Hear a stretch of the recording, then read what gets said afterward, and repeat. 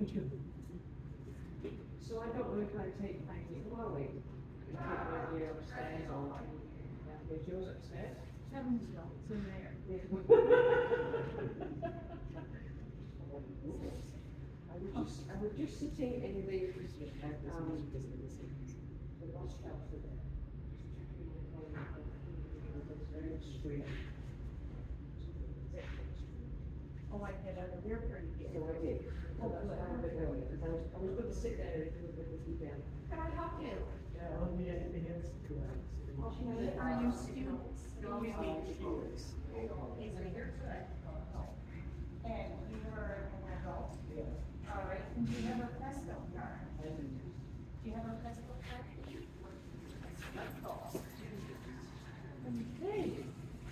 Well, I'm glad you had time to, Yeah, well, I, I had to cancel my